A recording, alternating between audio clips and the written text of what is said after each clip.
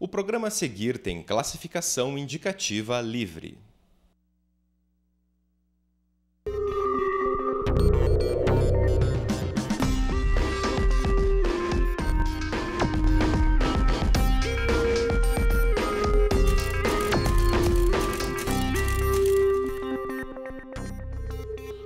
Olá, o FPR Notícias está começando. A partir de agora, você confere ao vivo todas as novidades da Universidade Federal do Paraná. Seja bem-vindo. A segunda fase da Operação Research, que investiga casos de desvio de verba pública dentro da UFPR, foi deflagrada hoje pela Polícia Federal.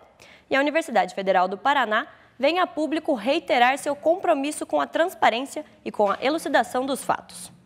A UFPR está confiante de que as responsabilidades serão apuradas e, claro, sempre resguardando as garantias e direitos individuais previstos na Constituição, como o direito de defesa e a presunção de inocência. É de interesse da universidade que as investigações avancem, permitindo que a verba desviada retorne o mais rápido possível ao erário. A Pró-Reitoria de Gestão de Pessoas, a PROGEP, vai oferecer cursos de inglês e espanhol para servidores docentes e técnicos administrativos da UFPR. 160 vagas nos níveis básico, intermediário e avançado vão ser abertas para o primeiro semestre de 2017. Os interessados devem preencher o formulário de inscrição disponível na página da Progep e comparecer à unidade de capacitação e aperfeiçoamento de pessoas, que fica no terceiro andar da Progep, na rua Doutor Favre, 590, no centro. As inscrições só serão feitas pessoalmente entre os dias 7 e 10 de março, das 8 da manhã às 6 da tarde. E uma nova campanha foi lançada pela UFPR para valorizar tudo o que existe de melhor dentro da universidade. E nós conversamos com a superintendente de comunicação da UFPR para você entender um pouco melhor a ação. A universidade lançou a campanha Valoriza o UFPR, a nossa história é todo dia. E nós estamos aqui com a superintendente de comunicação e marketing, a professora Luciana Punk, para explicar para a gente como foi desenvolvida essa campanha. Olá, professora, o UFPR tem vários talentos e histórias. Essa campanha é uma forma de valorizá-los, certo? Isso aí, Bruna. A gente está pensando na, na, superintendência seguir uma linha que da atual gestão, que é justamente a gente poder visibilizar todo esse pessoal que faz parte da comunidade acadêmica. A gente tem 40 mil pessoas aqui, entre servidores, estudantes, professores, terceirizados. Então, é, assim, é, é fantástico a gente ver a quantidade de talentos que tem aqui nas áreas que, assim, muitas vezes a gente nem imagina. Então, como é uma comunidade muito forte e extremamente é, talentosa, a ideia é de mostrar essas histórias, é, mostrar setores, mostrar laboratórios, mostrar alunos que, que se destacam. E assim, como a gente fala, nossa história é todo dia. Então, todo dia tem produção de conhecimento sendo feita aqui, tem atendimento à comunidade pelos projetos de extensão. É uma infinidade de coisas boas que acontecem aqui todo dia. Então, é, além dessa questão de valorização dos talentos, é valorizar o próprio patrimônio público. No seguinte sentido, é, aqui é toda a verba é pública, portanto, que todos, é, no decorrer desse ano, a gente comece a valorizar as pequenas coisas. Cuidados, por exemplo, com a limpeza do campus, é, com a economia de água, economia de energia. E também é uma forma de fortalecer a imagem da universidade para a sociedade.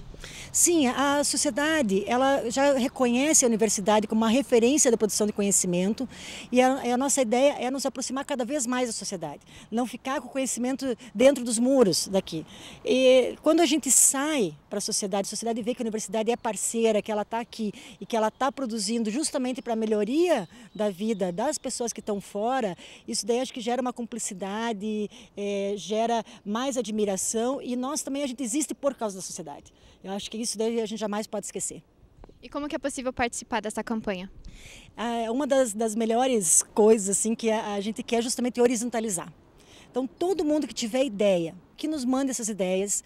Logo na, em breve a gente vai pedir também que as pessoas mandem vídeos, como a universidade mudou a vida de cada um. Isso também é, é fantástico. E a gente também colocou nessa página que está no portal do UFPR, é, capa de Facebook, e, é, tem reportagens é, com várias coisas boas que já aconteceram, que a gente já noticiou, e também outros posts de Facebook também estão disponíveis lá para que as pessoas, pessoas compartilhem. Então acho que a primeira coisa que alguém pode fazer nesse momento é trocar sua capa de Facebook, valoriza o UFPR, vamos lá, vamos nos unir nesse momento.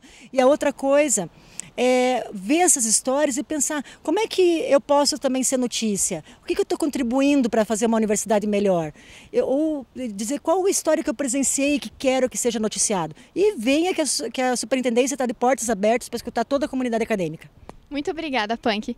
E se você tiver alguma sugestão, quer contar sua história, é só enviar a sua sugestão por e-mail institucionalsucom.ufpr.br. Bruna Jonskowski para o UFPR Notícias. Bom, e como a história da UFPR é escrita todos os dias, você também pode participar. É só usar a hashtag ValorizaUFPR em suas publicações nas redes sociais sobre a sua vida na Universidade Federal do Paraná. Março é o mês de aniversário de 30 anos da editora UFPR, mas o presente é para todo mundo. Todos os títulos estão com 30% de desconto. A editora da UFPR é vinculada à Pró-Reitoria de Extensão e Cultura. Sua principal função é apresentar para a sociedade o conhecimento científico e cultural produzido pela UFPR e também de outras instituições e segmentos. As obras com desconto podem ser adquiridas pelo site ou na livraria UFPR, que fica no hall do edifício Dom Pedro II, no campus da reitoria. A promoção é válida até o dia 31 de março.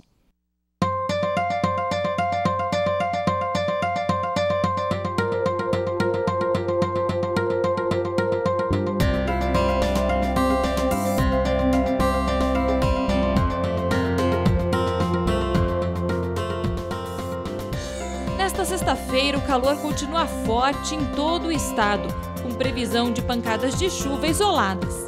Hoje a temperatura chega a 31 em Toledo e Jandaia do Sul.